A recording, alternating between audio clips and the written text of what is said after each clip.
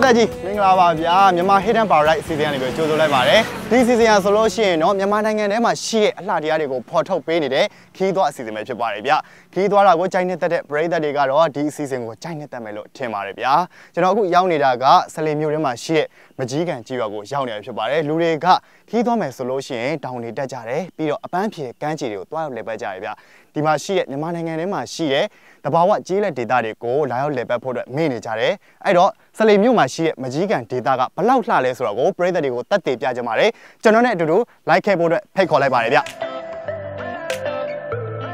မကြီးကန်ကြေးရွာတွေကိုဝင်လိုက်တာနဲ့တမရှင်နဲ့တင်းတင်းလေးနဲ့အညာဒေတာအလှပါတွေကိုကျွန်တော်စတင်ခန်းစားလိုက်ရပါတော့တယ်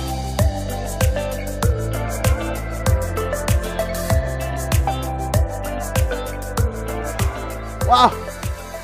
အင်္ဂလိပ်ကနေချင်းစရာလေးဗျာရမ်းမိုက်တယ်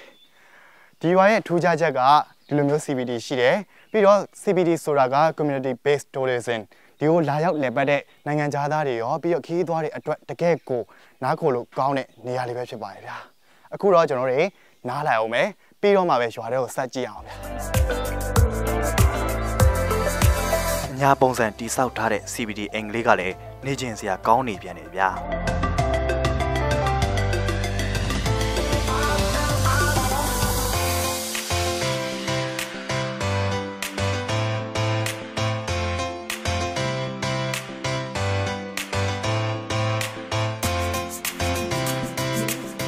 အခုဒီရွာမှာအင်ဂျီဘယ်လောက်ရှိလဲအဲဒီရွာမှာအင်ဂျီ129ရင်ရှိတယ်ခင်ဗျ129အိမ်ဟုတ်ဟုတ်ဩဒီရွာမှာရောဘယ်လိုတွေနေထိုင်စားတော့ကြလဲဒီရွာမှာတော့ကျွန်တော်တို့ရဲ့တောင်တူလုပ်ငန်းပေါ့ဟုတ်အဲအခုလက်ရှိကတော့ကောက်ပဲစပားဆိုင်တယ်တဘာဆိုင်လေလုပ်တယ်ဟုတ်ကဲ့ရှားလဲလောက်ကြဟုတ်ကဲ့ဩ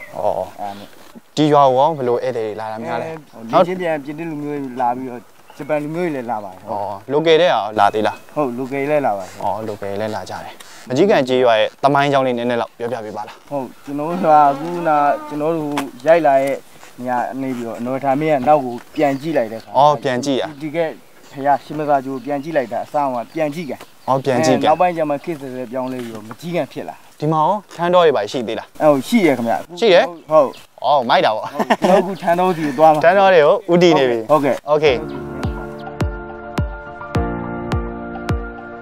ထမ်းပင်ကြီးရဲ့စီစီရီဖုံလုံးကြီးတွေအလိမ့်လိမ့်နဲ့အညာဒေတာအလှပါတွေဟာရှုမကြီးဖွဲ့ကောင်းလှပါတယ်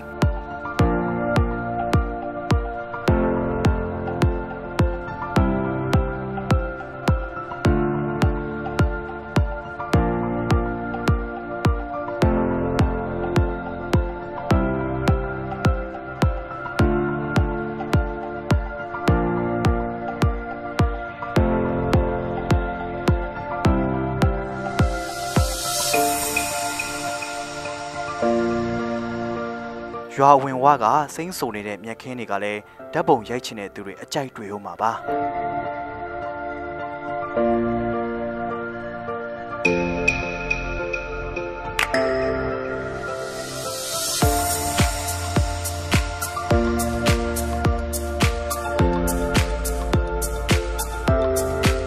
ကဲအခုတော့ CBD လေးကဧည့်ခံနဲ့အညာထမင်းလေးကိုစားလိုက်အောင်မယ်ဗျာဟင်းနေအများကြီးပဲ အော်မှုေးနေရမယ်စားမယ်စားမယ်စားမယ်တနေ့လုံးလျှောက်သွားလာပြင်ပန်းလာဆိုလိုက်တောင်စားလာ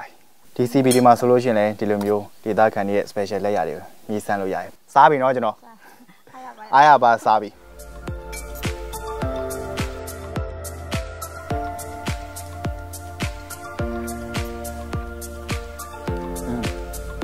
တော်ကောင်းတာပဲညဒေတာခံတွေကအစွမ်းပြတာ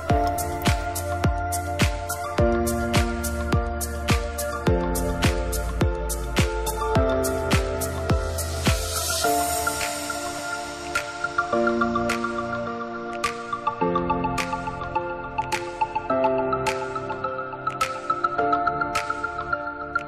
ြီးကန်ရွာရဲ့ထူးခြားချက်တစ်ခုကတော့ golf ကွင်းတွေရှိပြီးဒေသခံတွေကိုယ်တိုင် golf အားကစားကိုယူသွတ်စွာအားပေးကြတာပဲဖြစ်ပါတယ်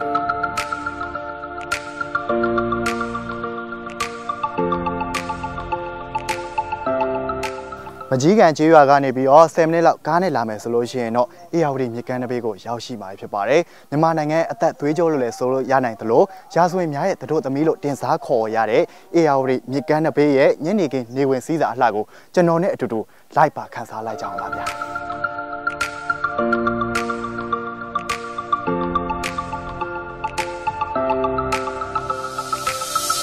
မိဖုရားရဲ့မွန်းကျက်နေတဲ့စိတ်တွေကနေတော့ခဏလောက်ဖောက်ထွက်ပြီးတော့အေယော်ဒီမြေကြီးရဲ့ အလှတစ်စောကိုကြည့်လိုက်ပါဗျာအရန်ကိုစိတ်တွေပေါ်ပါသွားတယ်ဟိုးမှာကျွန်တော်တို့မြင်တွေ့နေရတာကတော့ပန်းမြိုင်လေကဥယျာဉ်မှုဇက်ကားတဲ့ကဥကျော်ဟဲ့ဇက်ဝင်ကန်နေရပဲဖြစ်ပါတယ်ဟိုးမှာအဲ့ဇက်ဝင်ကန်အရန်မိုက်တယ်ဗျာကျွန်တော်လည်းအရန်ကြိုက်တယ်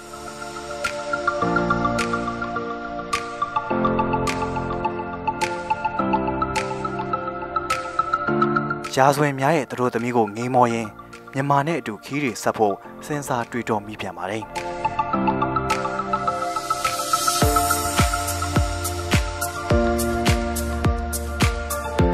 ဆလေမျိုးရောက်ရင်ဆလေရုပ်ဆောင်ချောင်းကလည်းမလဲမဖြစ်လဲပတ်တင်ပါတယ်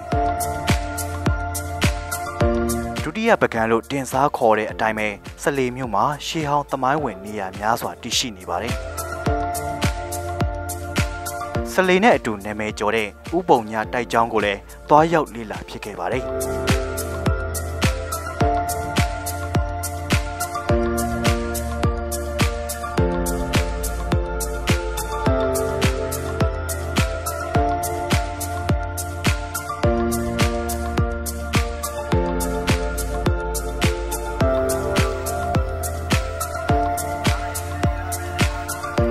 ပရိသတ်များခင်ဗျာအခုတင်ဆက်ပေးခဲ့တာကတော့ဆလေမျိုးမှာရှိတဲ့အလှပနေရာတွေရဲ့ပြီးတော့ယဉ်ကျေးမှုအမွေအနှစ်တွေပြည့်စုံနေတဲ့နေရာဒေသတွေကိုပရိသတ်တွေအတွက်စုံစုံလင်လင်နဲ့တင်ဆက်ပေးခဲ့ဖြစ်ပါတယ်ဆက်လက်ပြီးတော့လည်းမြန်မာ Hidden Paradise အစီအစဉ်ကနေပြီးတော့ကြံရှိနေတဲ့နေရာဒေသမျိုးစုံကိုကျွန်တော်တို့တွားရောက်ပြီးတော့တင်ဆက်ပေးသွားမှာဖြစ်ပါတယ်ဆက်လက်ပြီးတော့ကြည့်ရှုဖို့အတွက်လည်းဖိတ်ခေါ်လိုက်ပါရခင်ဗျကြည့်ရှုခဲ့ကြတဲ့ပရိသတ်များတယောက်ချင်းစီကိုကျေးဇူးအထူးတင်ရှိပါတယ်ဗျာ away